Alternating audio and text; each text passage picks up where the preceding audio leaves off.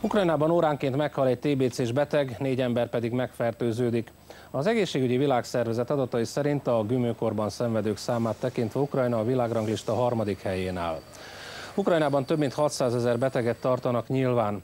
Kárpátalján jelenleg 2700 TBC-s kezelteti magát, és több ezeren fertőzöttek. A legaggasztóbb a helyzet a Beregszászi járásban. Az ukrán törvények alapján viszont senkit sem lehet kötelezni arra, hogy gyógyítassa magát. Alultápláltság, szegénység, megfázás, dohányzás. Ezek a TBC kialakulásának első számú rizikófaktorai. Aki valamilyen módon megkapja a kort, és idejében orvoshoz fordul, jó esélye van a gyógyulásra. Józsefet négy hónapja Ungváron a megyei tüdőgondozóban kezelik. Ő még idejében kérte a segítséget, így környezetére nem jelentett veszélyt.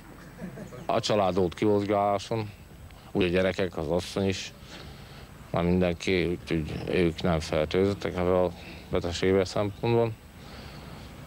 Ők tiszták. És már én is, hál' Istennek, kigyógyultam, ma úgy lehet mondani, mert ki lehet gyógyítani ezt a betegséget. Csak idejébe kell eljönni, nem kell anyagolni. Ha elanyagolják, akkor, akkor csak begyógyítani tudják, kíván nem. Azoknál ugyanis, akik idejében nem gyógyítatják magukat, a gümőkor halálos kimenetelű lehet.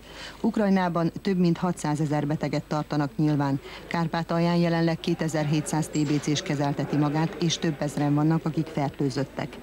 A legaggasztóbb a helyzet a Beregszászi járásban, ahol 1486 gümőkorban szenvedő beteget tartanak nyilván. Itt a TBC leginkább a roma lakosságot tizedeli. 90% romi. A megyében a TBC-sek 15%-a roma. Ez nagy probléma, hiszen az ő esetükben az életfeltételeik megváltoztatására lenne szükség ahhoz, hogy megfékezzük a kór terjedését. Tavaly minden községbe külön ellátogattak orvosaink, hogy felhívják a romák figyelmét a szűrővizsgálat elvégzésére. Az egészségügyi főosztály munkatársai évek óta nagy hangsúlyt fektetnek a betegség megelőzésére. 2006 óta létezik állami és megyei program a TBC visszaszorítására.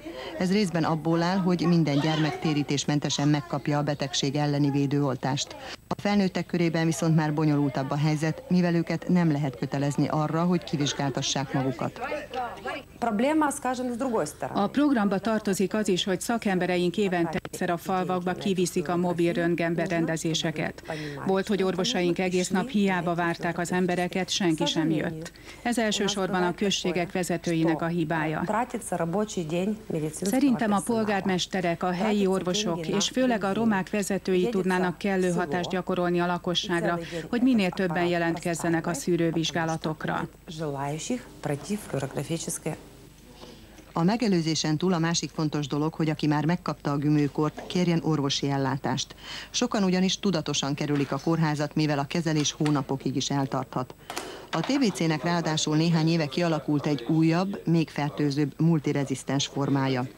Míg a gümőkor szokványos kezelése úgy 40 ezer forintnak megfelelő hrivnyába kerül az államnak, úgy a multirezisztens TBC-s gyógyítása akár 6,5 millió forintot is igényelhet.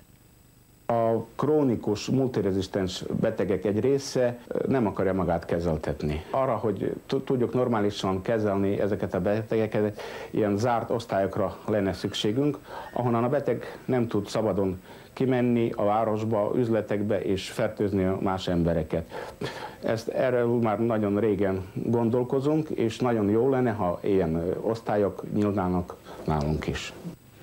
Az ukrán törvények alapján viszont senkit sem lehet kötelezni arra, hogy gyógyítassa magát, és arra sem, hogy a gyógyulás ideje alatt a világtól elzártan éljen.